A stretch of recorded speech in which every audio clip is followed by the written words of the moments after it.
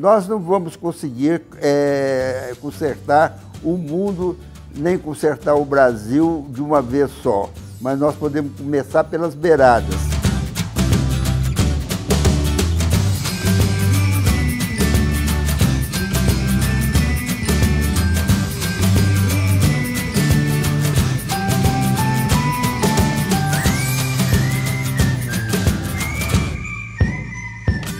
Tempo passa tão rápido, talvez há um ano atrás, nós estávamos conversando é, informalmente a respeito de cidadania, como o cidadão deve se comportar perante a sociedade.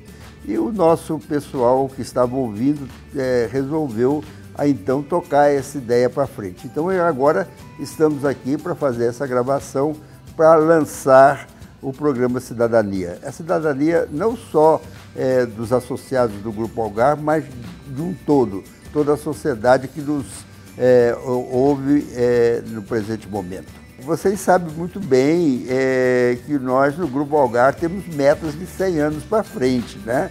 Então, a, minha, a nossa meta é que daqui a 100 anos seja completamente diferente do que é hoje, com muito mais cidadania construída por aqueles que hoje aqui estão.